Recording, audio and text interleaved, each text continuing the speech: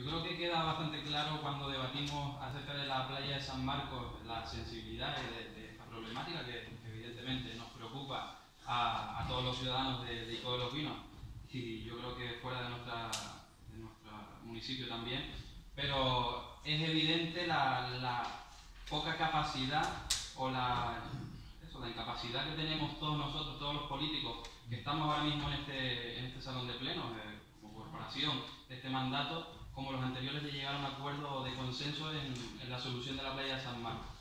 Se demuestra en los debates eternos que se, que traen aquí sobre la playa de San Marcos, de una manera u otra, en una propuesta u otra, de los diferentes eh, grupos políticos que formamos parte de la corporación y que han formado parte de la corporación en mandatos anteriores, y la gente está cansada de estos dimes y diretes de entre unos y otros de qué es mejor, qué es peor. Por lo tanto, ya lo comenté en el pleno anterior respecto al punto de la playa de San Marcos,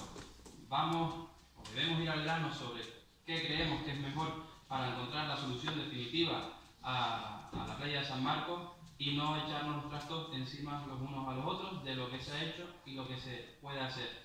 No entiendo el empeño del grupo de gobierno actual en defender una propuesta que además, como ha comentado el portavoz de Somos Icodense, se promociona y se paga con dinero público, eh, o así creemos, porque creemos que una televisión privada no emite constantemente a, todas horas o a prácticamente a horas de máxima audiencia un vídeo de más de 10 minutos sobre la playa de San Marcos sin que haya un, un dinero por detrás o presupuesto por detrás.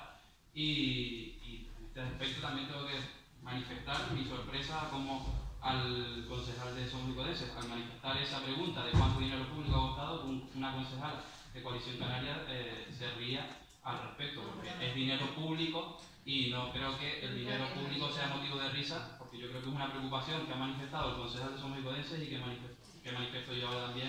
al respecto. No, no, no me no hago, estoy manifestando que, bueno, en este caso Tania se ha reído cuando Moncho... No, que Tania se rió en el momento ah, en el que Moncho manifestaba su duda o su preocupación de cuánto ha costado el emitir en una televisión privada, en mi Televisión, todas las noches un vídeo sobre la playa de San Marcos. No, bueno, yo creo que sí fue claro que te rías al respecto porque mirabas hacia él. Por lo tanto, creo que no es motivo de risa, no es motivo de risa el que el dinero, el dinero público se gaste en defender un proyecto a capa y espada, como está haciendo un grupo de gobierno, que está en su derecho de defenderlo, por supuesto, pero también estamos la oposición para defender otros tipos de intereses que creemos eh, más beneficiosos para la playa de San Marcos. Y como decía, la incapacidad política que hemos manifestado aquí todos los, concejales, los políticos de este ayuntamiento, no solo ahora, sino antes también, en encontrar una verdadera solución para la playa de San Marcos. Por lo tanto, a lo que se hace alusión la propuesta, que es a lo que, a lo que, lo que estamos tratando en este, en este caso, que es la propuesta de Somos Icodenses, en la que se pide que por parte del, ayuntamiento, del gobierno del Ayuntamiento de Ico se dé completa información al Consejo de Recuperación de la Playa sobre el proceso de consulta que se ha puesto en marcha sobre la recuperación de San Marcos, los preceptos legales en los que se basa este proceso y las garantías procedimentales del mismo, que en consulta que en su día se presenta a la ciudadanía se planteen soluciones alternativas al contenido del proyecto de la Viceconsejería de Turismo, que es el, proyecto que ustedes como grupo de gobierno, Coalición Canaria y Ciudadanos defienden eh, a capa y espada y promociona en televisiones públicas y, y en esas reuniones de proceso de información más que de participación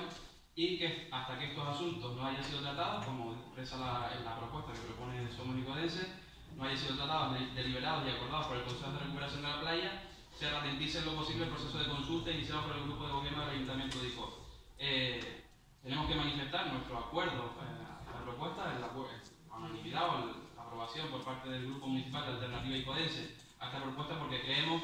que demostrada esa incapacidad política en la unanimidad de nosotros como corporación municipal, de representantes de los, de los vecinos, de llegar a un acuerdo unánime, porque lo que necesita la playa es un acuerdo unánime y no de mayoría eh, simple o de, gobierno. Eh, por lo tanto, consideramos que, la ciudadanía es la que debe de buscar la solución en base a las propuestas ya presentadas, propuestas técnicas presentadas a lo largo de, los años en, este ayuntamiento, por diferentes técnicos y por eh, propuestas también de, que han venido por parte o apoyadas por partidos políticos y que sea la ciudadanía que decida entre todas las propuestas y no sobre una que se está vendiendo actualmente. Que se expongan todas las propuestas y que la ciudadanía vote eh, concienzudamente, una vez analizadas esas propuestas, cuál es la mejor para la solución de la playa. Y que sean los ciudadanos, la mayoría de los ciudadanos nicodenses, los que decidan eh, el futuro de nuestra playa. Existen las vías para llevarlo a cabo, las consultas populares se pueden llevar a cabo,